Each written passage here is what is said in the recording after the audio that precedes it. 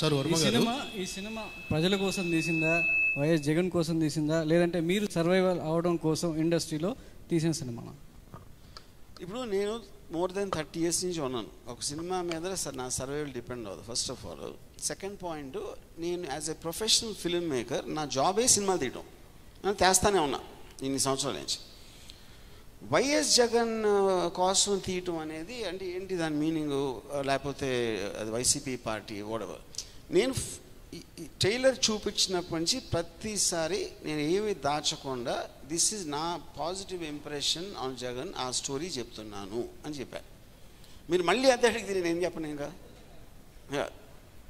Sir Varma గారు sir ఒకప్పుడు వర్మ గారు అంటే కంటెంట్ ఓరియంటెడ్ సినిమాలు కానీ హై టెక్నికల్ స్టాండర్డ్తో సినిమాలు కానీ వచ్చేవి. ఇప్పుడు వర్మ గారు అంటే ఇవన్నీ వివాదాస్పదమైన సినిమాలు తీస్తున్నారు?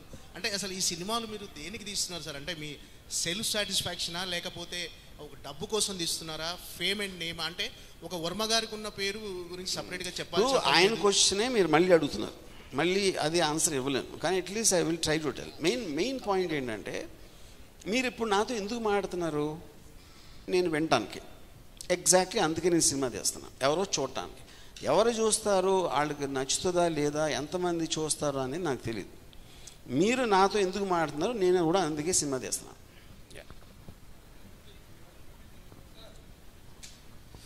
మామూలుగా ఇప్పుడు మీరు ట్రై చేస్తున్న క్యారెక్టర్స్ అన్ని పబ్లిక్లో ఐడెంటిఫైడ్ క్యారెక్టర్స్ ఒక జగన్ గారి క్యారెక్టర్ చంద్ర చంద్రబాబు గారి క్యారెక్టరు అండ్ రోసే గారు అందరూ పవన్ కళ్యాణ్ అందరు ఐడెంటిఫైడ్ క్యారెక్టర్స్ బట్ భారతి గారికి జగన్ గారి శ్రీమతి గారి భారతి గారు ఎప్పుడు పబ్లిక్ డొమైన్లోకి రాలేదు ఆవిడ. భారతి గారిని పేరు వింటమే తప్ప but you have made a very prominent character it seems. ఆవిడ మీద క్యారెక్టర్ డిజైన్ చేసినట్టున్నారు.